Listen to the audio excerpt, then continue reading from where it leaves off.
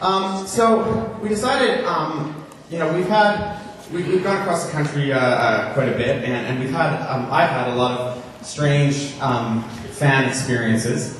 and we thought we thought maybe we'd have a competition to see see which city would uh, would uh, have the most unique uh, fan experience. I had I had one time. I'll tell you I'll tell you what you guys have to beat. I had one time I was playing a show in uh, Calgary, Alberta, and there was an, an elderly woman um, that felt so inclined to throw her uh, bra on stage. It was, uh, it was, it was, it was quite quite large. It, was, it was black. It sort of looked like Mickey Mouse ears. And, it came flying right past me, like I ducked away. And my guitar player at the time was like, it, I just started out. He's like, man, that's your first your first bra. You got to keep it.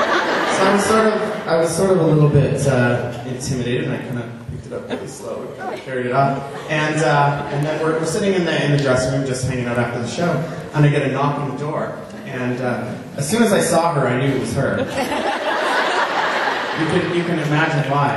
And um, and she said, "Hi, Kalan, I I need my bra back." And I said I said, "Yeah, you do." So, uh, so I, I, gave her, I gave her her bra back, and what I, what I always wish I would have said is, you know, thank you so much for the support. but